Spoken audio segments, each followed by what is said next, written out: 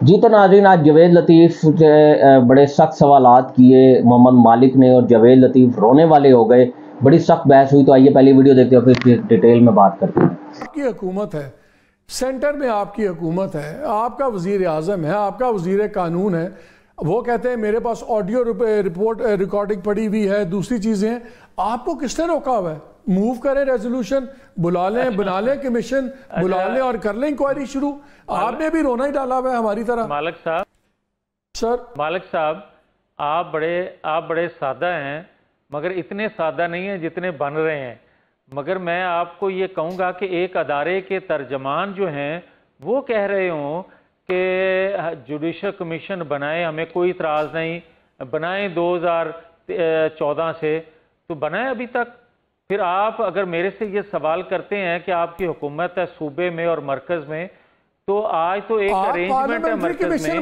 جب ہماری دو آپ جوڈیشل بات تو سن لینا۔ آپ پارلیمنٹری کمیٹی بنائیں وہ انویسٹیگیٹ کریں دنیا میں ہوتا ہے۔ میرے بھائی میرے بھائی میری عرض سن لیں۔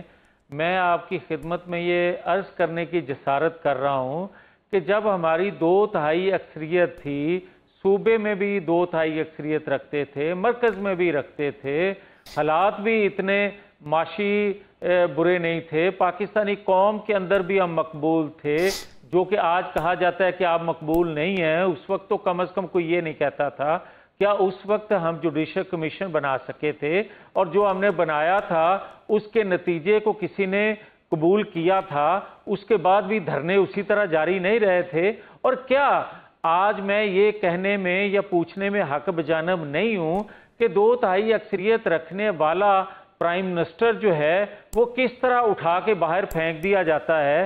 تو میاں صاحب میاں صاحب بات سنیں میاں صاحب بات سنیں۔ پرائم منسٹر کتنا بات تیار ہوگا؟ بات سنیں یہ ہم نے باتیں پہلے بھی سنی ہے نا پھر انگریزی میں کہتے ہیں موو آن یا تو پھر آپ لوگ بھی اب آگے کی بات کریں۔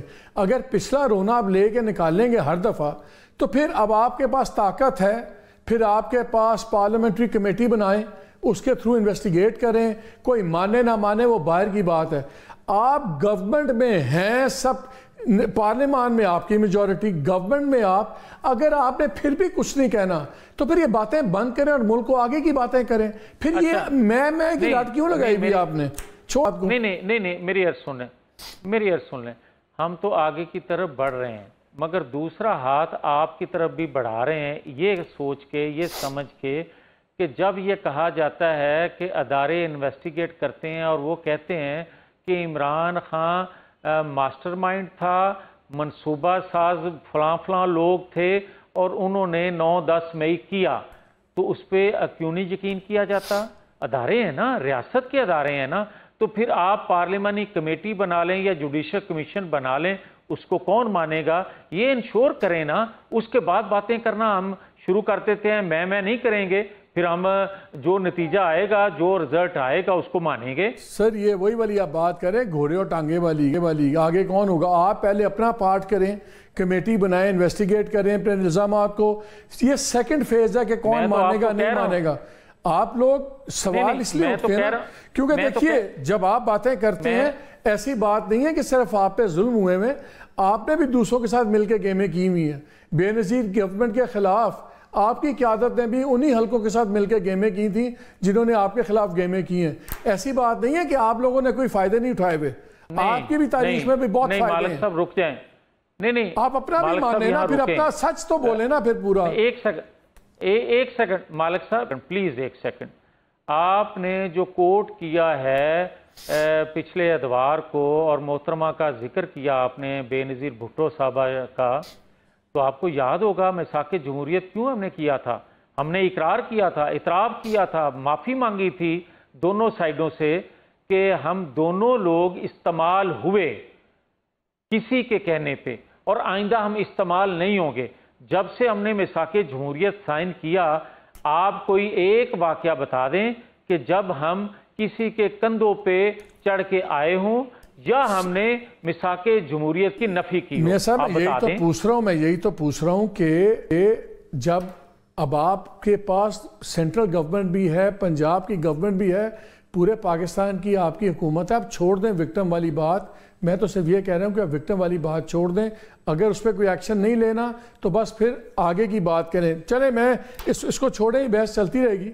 مجھے یہ بتائیں کہ رانا ثناء اللہ صاحب نے بھی کہا ہے ایک پروگرام میں شہزاد کے ساتھ بات کرتے ہوئے کہ جی پرائم منسٹر سوچ رہے ہیں کہ وہ بات کریں صدر سے اور صدر بلائیں جوڈیشری سے بات کریں، شاید فوج سے بات کریں۔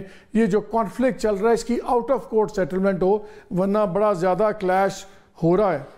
پی ٹی آئی والے چاہتے ہیں کہ یہ کانفلکٹ اور بڑھے، جو پی ٹی آئی کا، یہ عدالت کا اور اسٹیبلشمنٹ کا ہے۔ اس میں میاں صاحب وغیرہ کی کیا سوچ ہے؟ آپ لوگ باپ قریبی ہیں بات چیت ہوتی ہوگی۔ اس پہ کوئی بات چیت ہوئی ہے؟ کوئی سوچ رہے ہیں؟ دیکھیں بات نہیں میری عرض سن لیں۔ اگر تو یہ حل ہے کہ دونوں طرفوں طرف سے سیز فائر کرانا ہی مقصود ہو یہ حل نہیں ہے۔ حل یہ ہے کہ ہر ادارہ حدود و قیود میں رہے۔ حل یہ ہے کہ آپ آج کی بات کے ساتھ کل کی بات کریں۔ آپ کل کی بات کے ساتھ پچھلے کل کی بات کریں۔ جب تک آپ ایک کے ہاں یہ ضرور بات ہے کہ یہ بتایا جائے کہ کون سے کیس میں دباؤ آیا اور کون سے فیصلے آپ نے کیے جن کی وجہ سے یہ دباؤ آپ پہ ڈالا جا رہا ہے۔ تو قوم کو اعتماد میں لیے بغیر آپ اگر دو فریق کی اگر کوئی سمجھتا ہے دو فریق کو، میرے نزدیک تو ایسی بات نہیں ہے۔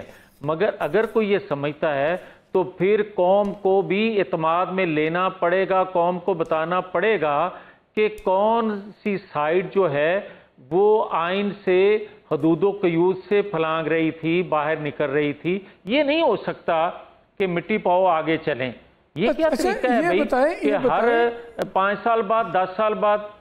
آج بڑے سخت جملے ہوئے وہ جو ایک پوئٹ ہے احمد فریاد ان کی گنشدی کا چل رہا تھا کیس اسلام آباد ہائی کورٹ میں۔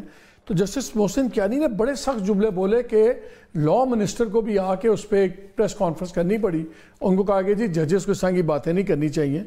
وہ تو آج بہت گرجے انہوں نے کہا جی مجھے بندہ آئی ایس آئی سے چاہیے۔ اپنے ڈی جی آئی ایس آئی کو بتا دیں، بندہ حصورت چاہیے۔ اور پھر انہوں نے کہا کہ یہ بتائیں کہ باجوڑ والے سیف ہاؤس میں ہیں یا کشمیر والے سیف ہاؤس میں؟ اور sector commander D G I S ہے کیا بیان قلم بند کریں۔ اور کون اپنے آپ کو کیا سمجھتا ہے؟ کل انہوں نے سیکٹری ڈیفنس سیکٹری انٹیریئر کو بلا لیا ہوا ہے۔ اور پھر انہوں نے کہا کہ اب معاملہ ایس آئی اور ایم آئی کے آگے نکل گیا ہے سب کچھ۔ اور جب میں یہ فیصلہ دوں گا تو معاملہ اور بھی آگے جائے گا۔ اگر ججز اس طرح کی زبان استعمال کریں گے تو کیا پھر انسٹیٹیوشنز کے درمیان میں کچھ آؤٹ آف کورٹ سیٹلمنٹ ہو سکے گی؟ مالک صاحب، صرف اتنی بات نہیں ہے، تھوڑی سی مکمل بات اگر آپ اپنی بات کو کر لیں، کیا یہ مناسب ہے کہ ہر بات پہ آپ کہیں کہ پرائم منسٹر کو بلا لیتے ہیں؟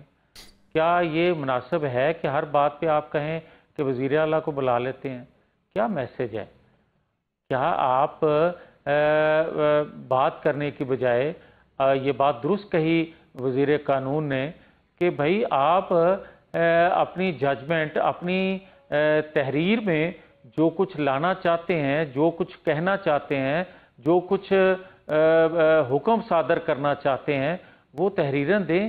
زبانی اور نیوز ٹکر چلنے یہ کوئی میرا خیال ہے میں تو آج تک بطور طالب علم کے یہ سنتا آیا ہوں پڑھتا آیا ہوں کہ فیصلے بولتے ہیں کبھی کوٹوں کے اندر اور کوئی چیز نہیں کہی جاتی کہ جس سے سرخیاں بنے یا جس سے میڈیا پہ ہائپ ایک بنے یہ میرا خیال ہے کہ ایک طالب علم تو ویور ویڈیو آپ نے دیکھی اور گفتگو بھی سنی جوید لطیف کی۔ اب وہی بات کہ جی احتساب احتساب احتساب۔ اب تو ان کی پاور ہے نا، ان کی حکومت ہے۔ تو پھر اس کے بعد احتساب کیوں نہیں کرتے؟ یہی بات محمد مالک نے بھی پوچھی کہ بنائیں کمیشن کریں احتساب۔ اچھا کبھی کہیں گے جی کہ الیکشن میں دھاندلی ہوئی ہے، کبھی کہیں گے نہیں ہوئی ہے۔ اب آج کل میں آپ کو بتاؤں، سپریم کورٹ آف پاکستان نے یہ آرڈر کر دیا ہے کہ بھئی اپنے اپنے فارم فورٹی فائیو اور فارم فورٹی سیون لے کر عدالت میں پہنچے۔ اور ان میں سے کوئی بھی نہیں پہنچ رہا ہے۔ اس کا مطلب یہ نہیں ہے کہ جان چھوٹ جائے گی۔ آج کل جج بھی بڑے سیدھے ہوئے ہیں۔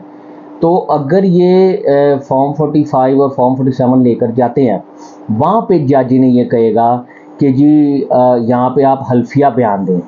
اب اگر تو وہ جھوٹ بولتے ہیں اور حلفیہ بیان دے کے جھوٹ بولتے ہیں تو ان کا ایمان ختم ہو جائے گا۔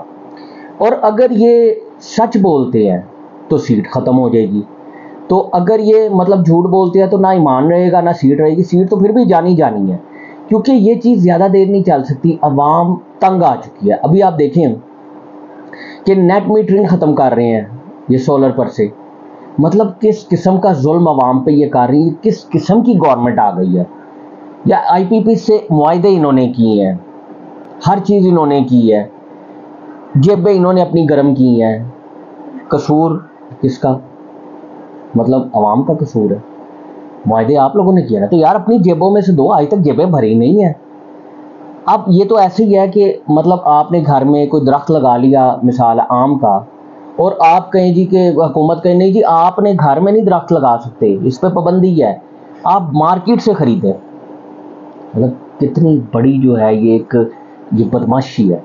ٹھیک ہے، یہ تو خیر اس ویڈیو کا حصہ نہیں تھا جس ٹاپک پہ میں آپ کو لے گئی لیکن میں آپ کو صرف یہ بتا رہا ہوں کہ اس طرح کی بدماشی ہونے جا رہی ہے۔ پہلے کہتے تھے ٹیکس لگانا ہے اب کہتے تھے نہیں جی ٹیکس نہیں لگانا۔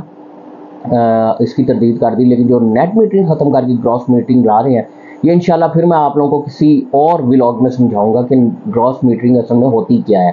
اگر آپ لوگ مجھے کمنٹس کریں گے کمنٹ میں بتائیے گا کہ میں اس پہ ولاگ بناؤں تو پھر میں آپ لوگوں کو بتاؤں گا اور کس طرح سے عوام کے ساتھ دھوکہ کیا جائے گا اور کس طرح سے عوام کی جب پہ ڈاکہ ڈالا جائے گا یہ بھی بتاؤں گا۔ تو ویورز اپنی رائے کا سار آپ کمنٹ باکس میں کیا کریں، ویڈیو کو لائک کریں ملتے ہیں نیکسٹ ویڈیو میں تب تک لیے اللہ